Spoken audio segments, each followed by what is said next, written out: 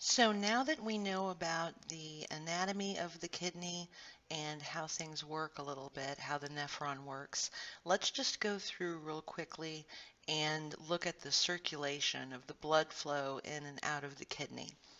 So we're going to start back at our most basic, our aorta, and we have this descending aorta that goes down the entire length of our abdominopelvic region. And off of this descending aorta, the renal artery branches off and it goes out to the kidney. And then once it gets to the pelvic region in the kidney, which is right here, we're going to switch to the little uh, arteries that are inside the kidney. Now, when we go from the pelvic region and up the minor calyxes until we get to the base of the pyramids, there's these segments. The artery splits off into these segments. The renal artery splits off into these segments and each goes up to a pyramid through the minor calyx up into the pyramid, uh, the pyramids of, of the kidney. And since these are the segments that the renal artery branches out of, this would be called the segmental artery or arteries. So the segmental arteries go from the pelvis, the, pel the renal pelvis, through the segments of the minor calyxes and the major calyxes up until it gets to the pyramids.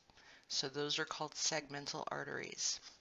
And then once they're up at the bottom of the pyramids, they're going to go up through those um, interlobes. Remember when we talked about the columns of cortical tissue in between each pyramid? And these columns go in between the pyramids and they're uh, interlobar. Um, they make up the sides, the edges of each lobe of the kidneys. So these arteries are going to go up in between the lobes of the kidneys. And so since it's between the lobes of the kidneys, and we're going to do one on the side there, between the lobes of the kidneys, it's going to be called interlobar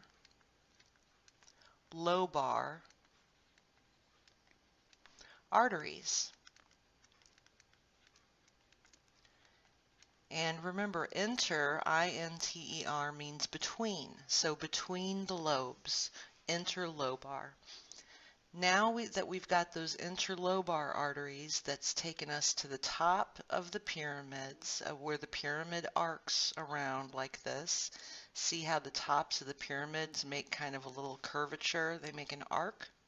Well, these arteries arc over the arcs of the pyramids. They go over the arcs of the pyramids. So they're going to be called arcuate.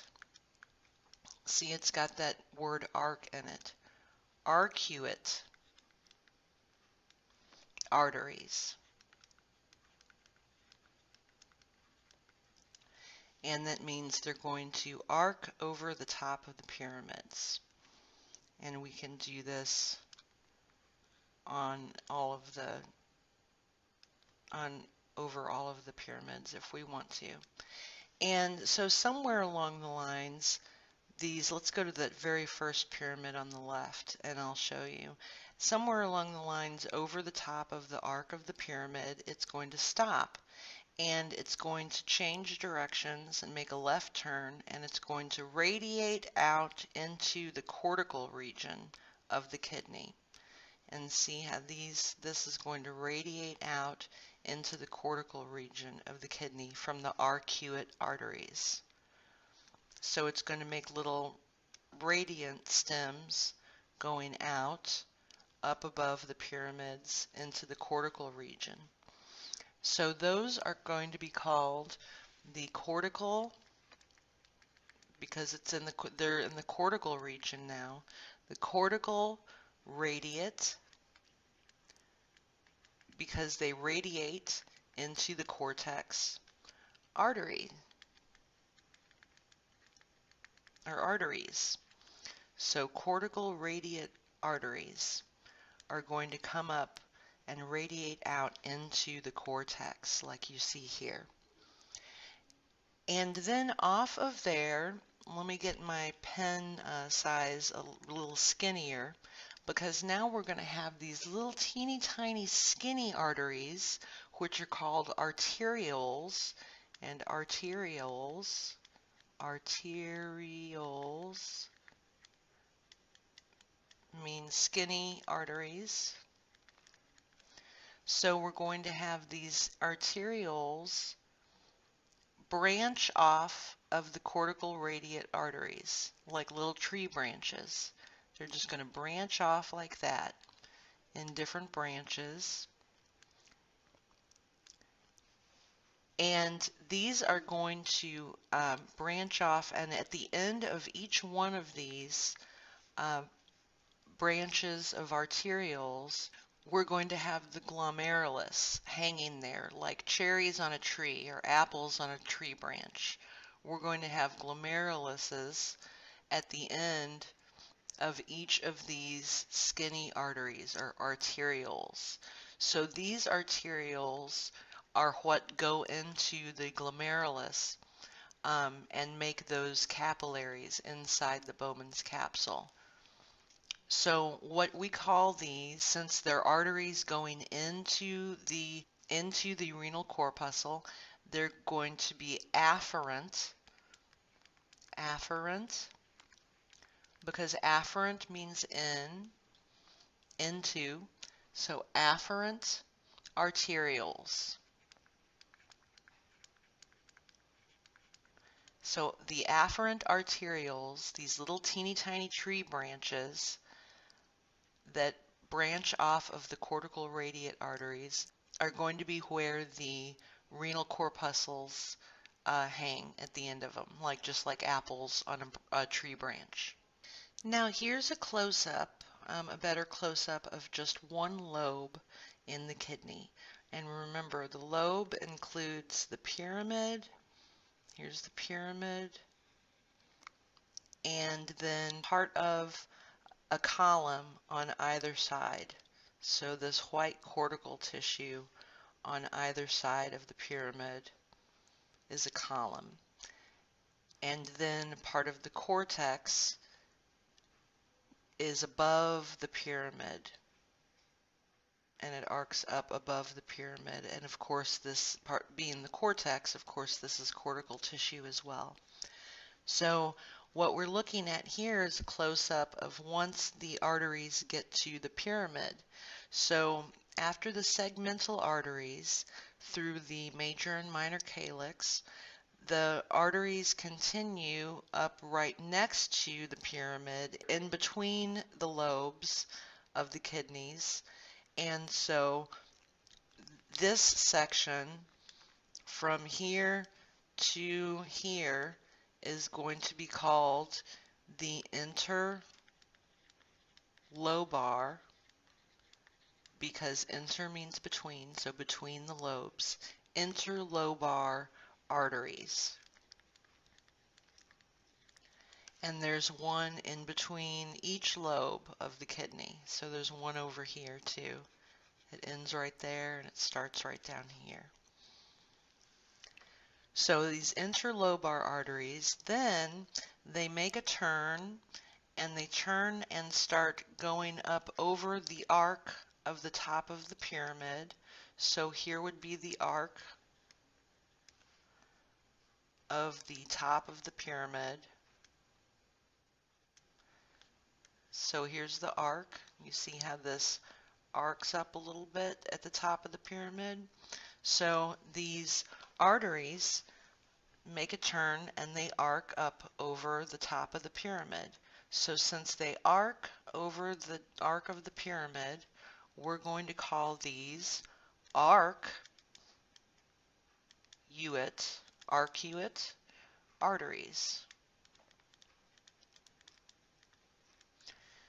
And you can see there's one on the right side also. It makes a left turn and it arcs on top of the pyramid, this artery right here. So that's arcuate arteries. Now the arcuate arteries, once they get to the top of the pyramid, they're going to make another turn and they're going to radiate out into the cortex. Because remember right here, from here to here, from the top of the pyramid to the outside of the kidney is the cortex. And so these arteries are going to turn and they're going to radiate out into the cortex up above the pyramid. If you can see that, see these radiating, kind of like tree trunks. They radiate out into the cortex. So since they radiate out into the cortex, we are going to call these cortical radiate arteries. So cortical radiate arteries, they radiate out into the cortex. And here's another one right here that stands up. Now then we have one more for you. Now you can see off of the cortical radiate arteries are these little tree branches that branch off and they have a little ball at the end of them like an apple hanging off of a tree branch but we're just looking at these branches right now they branch off the cortical radiate arteries. And see we have another cortical radiate artery and these little tiny branches that branch off. These are going to be called afferent arterioles and they're called arterioles, not arteries, because arterioles is just a word for little bitty teeny tiny arteries. So we're going to call them arterioles instead of arteries. And they're afferent because afferent actually means in or into. What are they going into? They're going into this renal corpuscle, which is these, which are these apple-looking things that are hanging on the end of the afferent arterioles. The afferent arterioles actually go into these renal corpuscles, the apple-looking things, and I'll just draw right there. Renal corpuscle and the afferent arterioles go into the renal corpuscle and that is what makes the glomerulus. They turn into even smaller arterioles, which are called capillaries, and that's what makes the glomerulus, which is inside the renal corpuscle. So now I'm going to show you a kind of a close-up of what's going on here. Here's we have the pyramid here, and in between the lobes of each pyramid, we're going to have the interlobar arteries go up like that. And so inter meaning between, lobar. So here's an interlobar artery in between each lobe of the kidney and then it's going to make a turn and arc up over the arc of the pyramid. So this would be called the arcuate. See, it's got the word arc in it. Arcuate arteries. And then when it gets up over the pyramid, it's going to make another turn and it's going to radiate out into the cortical region, into the cortex. So this would be called the, the cortical radiate artery. Now after the cortical radiate artery is standing up there, branching off of the cortical radiate artery are little tiny branches, little tree branches like this. And Those are called the afferent arterioles. Afferent meaning into and arterioles meaning skinny artery.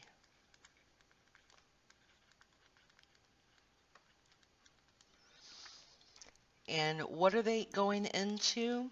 Well, they're going into the renal corpuscle, which are these apple-looking things that hang on the end, that look like they're hanging on the ends of these afferent arterioles. See, renal corpuscle, renal corpuscle, renal corpuscle. Now, let's look at one of these afferent arterioles and renal corpuscles up close. So we have an afferent arteriole that branches out and we have the renal corpuscle which is on the end of this and it's the sphere. Now inside this renal corpuscle the afferent arteriole gets skinnier. So it goes inside of the renal corpuscle and it, the afferent arteriole gets skinnier, which is called capillary, which is a very, very skinny arteriole, teeny tiny arteriole. These are capillaries and they make this winding mess inside the renal corpuscle like that and then they come out another end. So these capillaries, I'm going to put capillaries, are called the glomerulus of the renal corpuscle. So the orange part, the outside, the outer shell, is called the Bowman's capsule.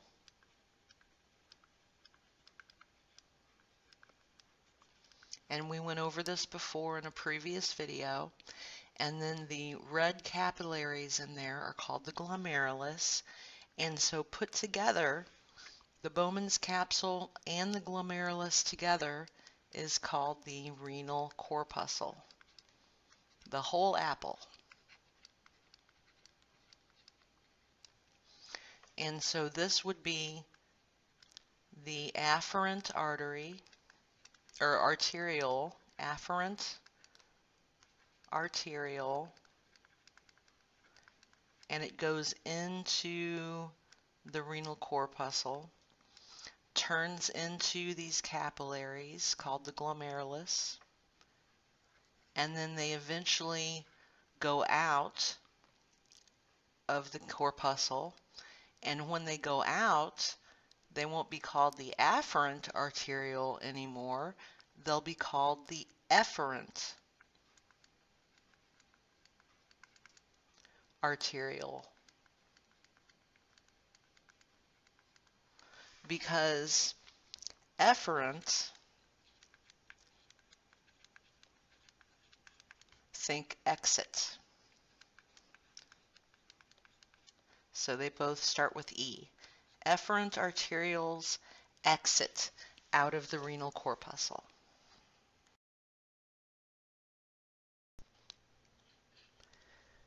Okay, so now that we have seen uh, what leads up to the arteries that lead up to the glomerulus, which are a bunch of capillaries inside the renal corpuscle, now we're uh, talking about the efferent arteriole coming out of the other side, and efferent means exit, remember. But check out this uh, this renal corpuscle with the glomerulus in it. So this is the renal corpuscle.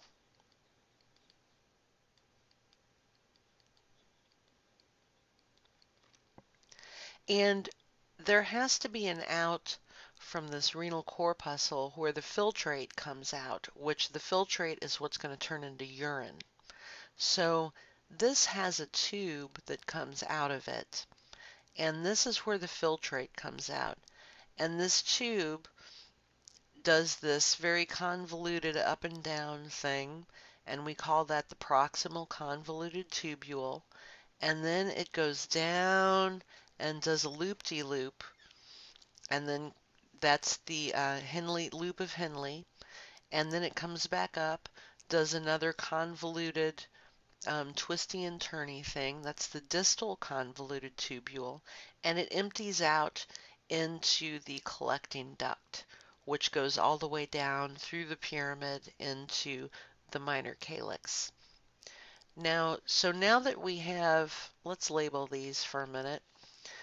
Now that we can see where this stuff comes out, here is the proximal convoluted tubule. Here is the loop of Henle. And then here is the distal, because it's distant from the uh, renal corpuscle, distal convoluted tubule. And then that empties into the collecting duct. And it starts to be urine right about down here when the loop of Henle loops around and starts to come back up. This is ur now urine. It's not called filtrate anymore. It's called urine when it comes back up here. And so it goes through the distal convoluted tubule as urine and it empties out as urine into the collecting duct, goes down through the collecting duct, through the pyramid, into the uh, minor calyx. So now that we remember this, let's go back to this efferent arteriole right here, this efferent arteriole. And remember, exit efferent means exit. So this is the arteriole that exits from the renal corpuscle. It comes out, and what it does is it comes down and it wraps around this proximal convoluted tubule. It goes down, it wraps around the loop of Henle and it comes down and as it loops around uh, the proximal convoluted tubule and the loop of Henle, it's no they're no longer uh, called efferent arterioles. They've actually gotten smaller, and what is a smaller, tinier version of an arteriole is a capillary. So these are all capillaries that are wrapping around these tubules and then it comes back and it comes around and it wraps around the distal convoluted tubule like that. So when they're capillaries, capillaries, their name is different depending on what kind of nephron that is that they're wrapping around. So if you have the, I'll write it over here because it's longer. If this loop of Henle, if this loop goes all the way down and goes down very far down into the pyramid and comes back up. That is a juxta medullary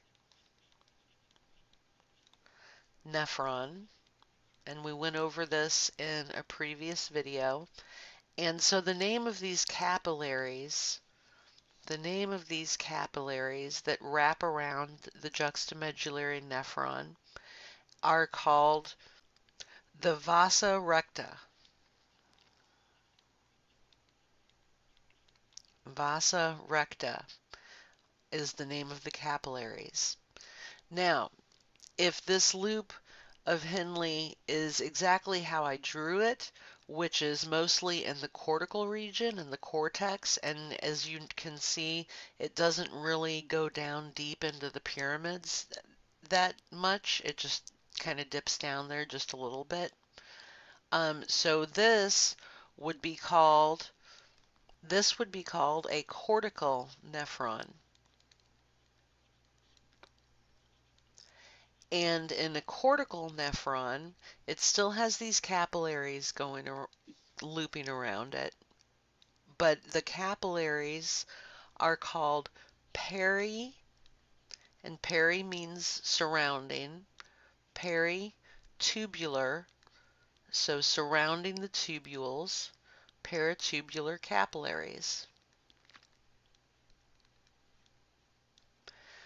So these capillaries that come out, we start at the efferent arteriole coming out of the renal corpuscle.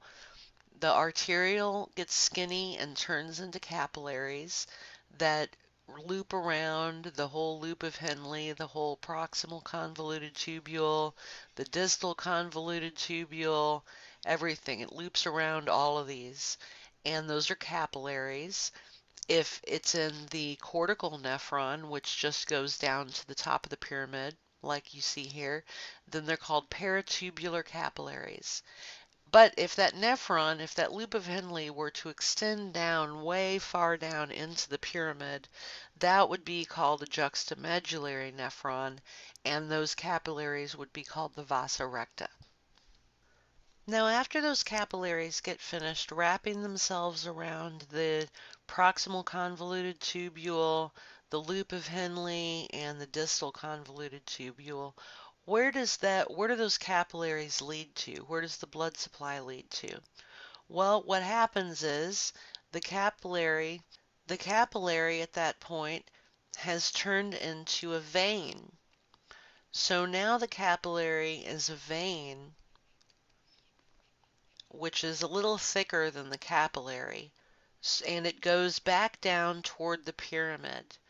So if you remember, the artery that went up away from the pyramid into the cortex was called the cortical radiate artery.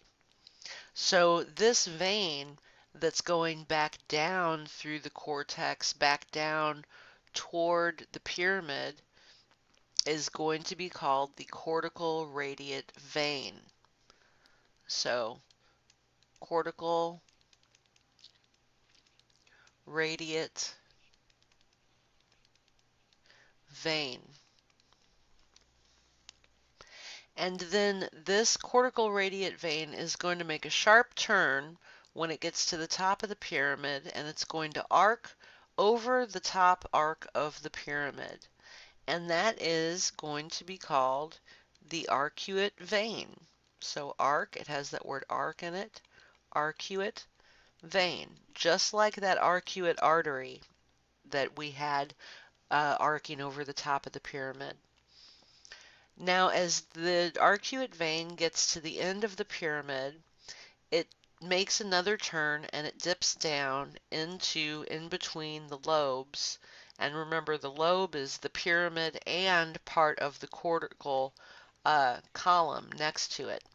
So this vein goes down in between there on the other side of the cortical tissue on the edge of the pyramid. And when the vein has turned and is going now down in between the lobes of the kidneys, that's going to be called the inter, inter meaning between, interlobar vein. And that interlobar vein is going to go all the way down through the minor and major calyxes into the pelvis, the renal pelvis, and it's going to turn into the renal vein.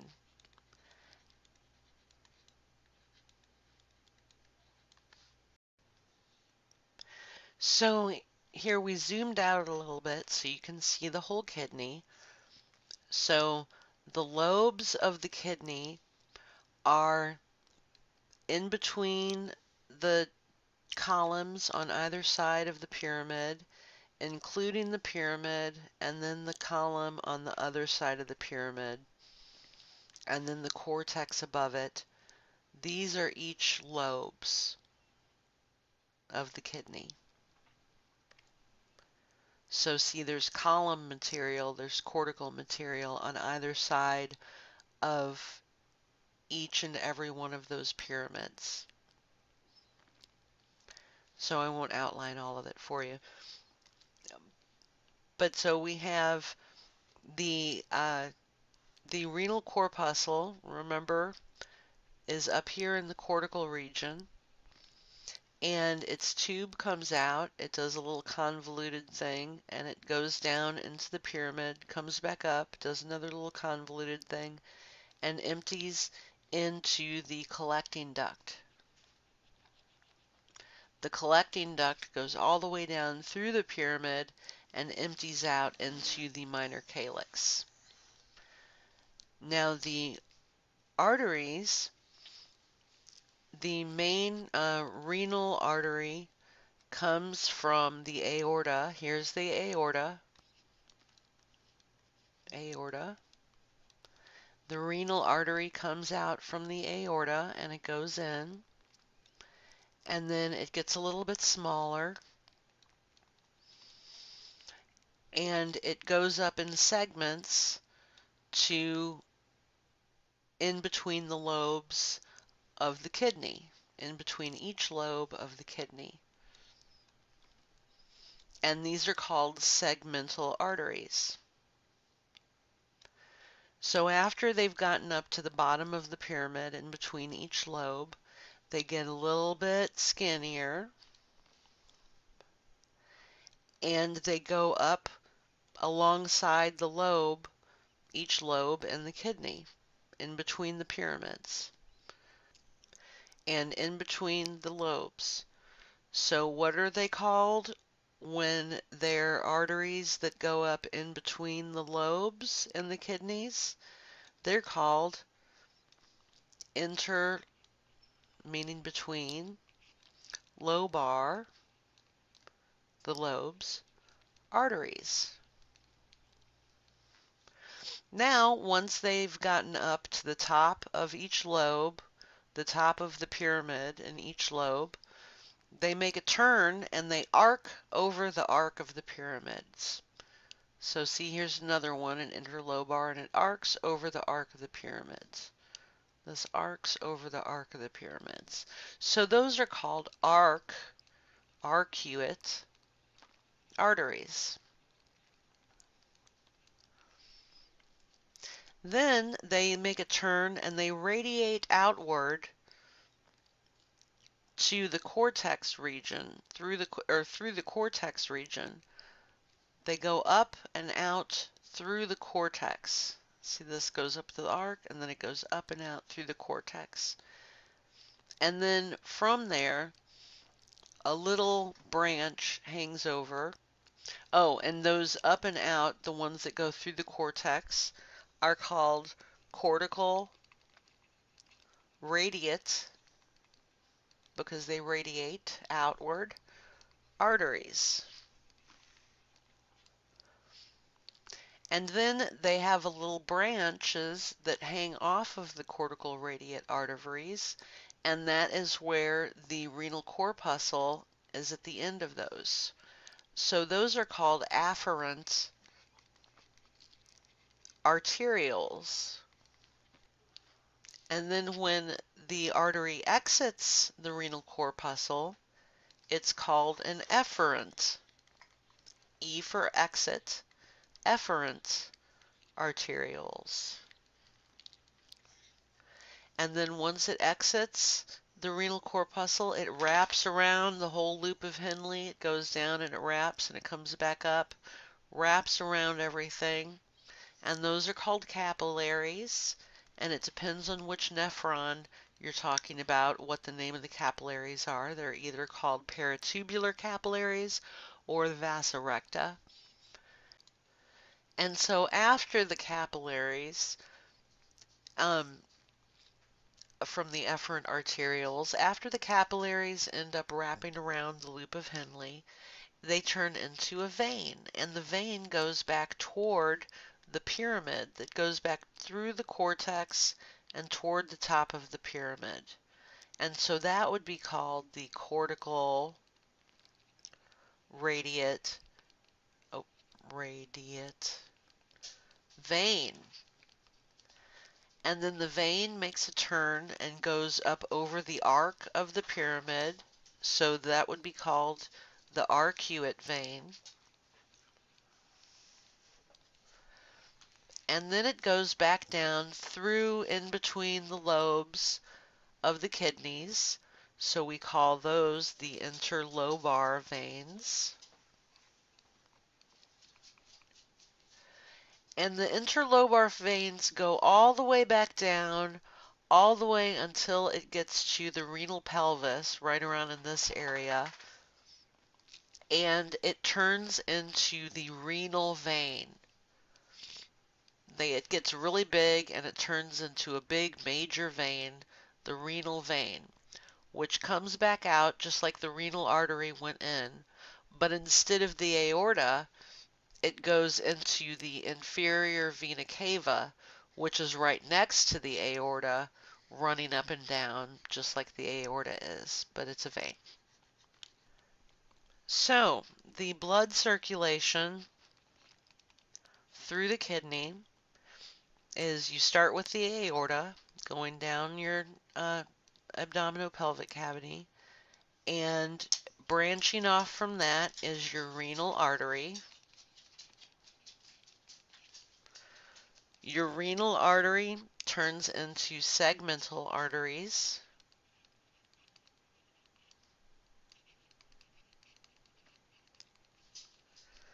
Your segmental arteries turn inter, into interlobar arteries.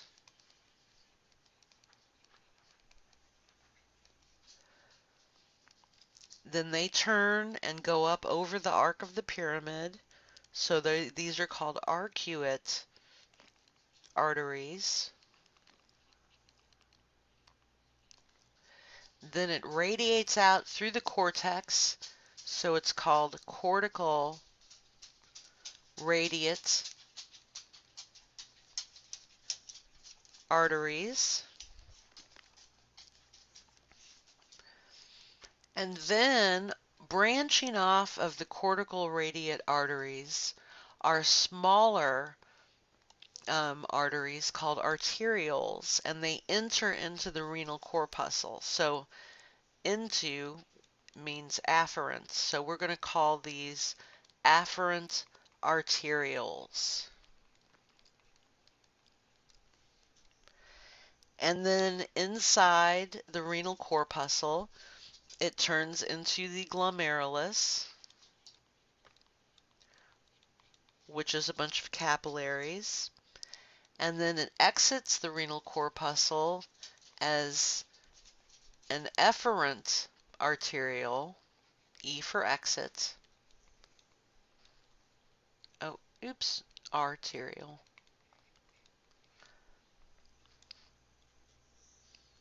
And then it turns into capillaries.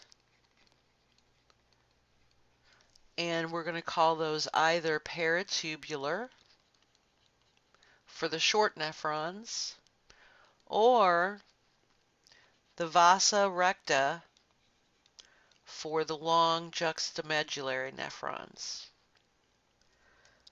Then after the capillaries are finished wrapping around the loop of Henle,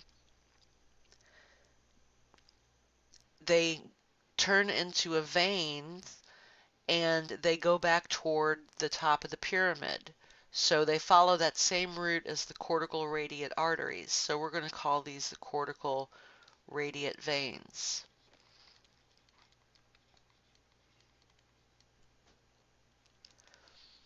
And then it's going to arc over the top of the pyramid, so we're going to call that the arcuate veins. And then it's going to turn and go down in between the lobes, between the pyramids and the kidney. So we're going to call that interlobar. And then interlobar is going to go all the way down until all the interlobar veins meet. And it's going to get much fatter. And it's going to turn into the renal vein. And then from the renal vein, it's going to dump out into the inferior vena cava.